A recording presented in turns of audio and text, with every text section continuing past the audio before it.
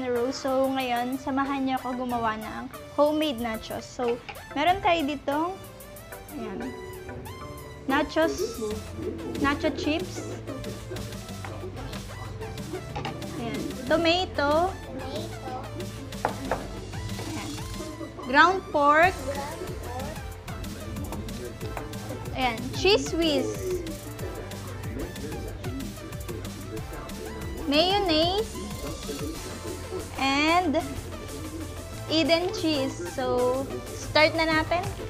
So, gamit tayo ng plastic gloves.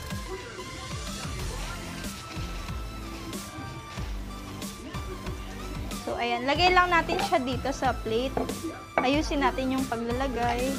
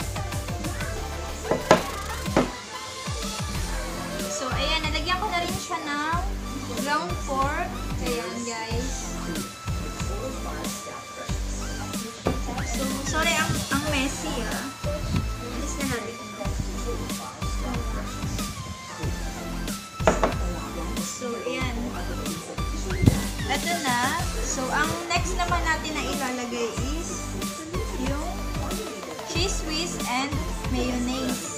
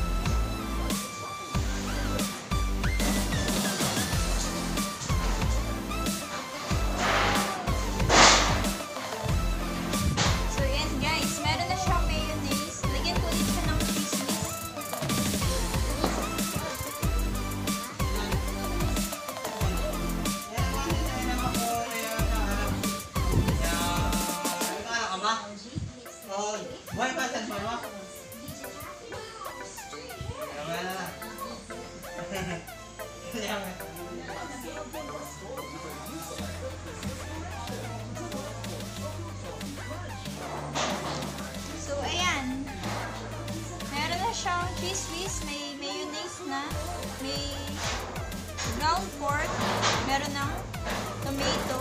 So, lalagyan ko rin siya ng grape cheese. So, ito, optional lang naman yung cheese na ilalagay. Ako gusto ko lang lagyan. So, kaya kung gusto nyo rin, pwede nyo naman din lagyan. So, start ko na rin yung pag-grate ng cheese.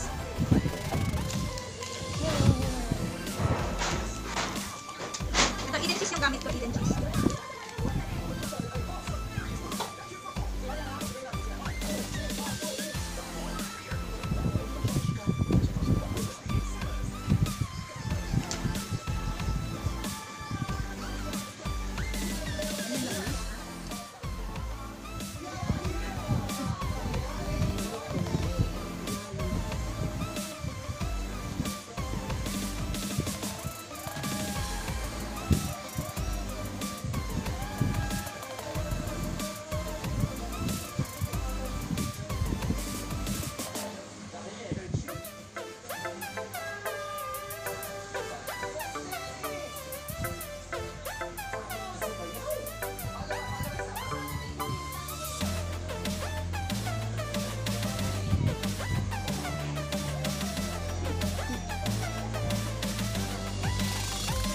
So, ayan. Okay na yung ganyan cheese lang.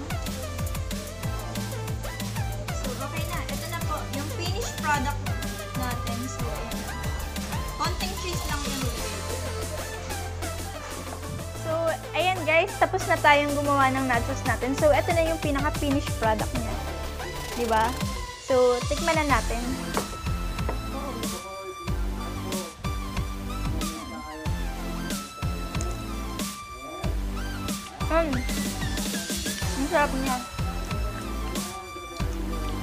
Ang nilagay lang natin dito is yung tomato, ground pork, mayonnaise, cheese whiz, and cheese.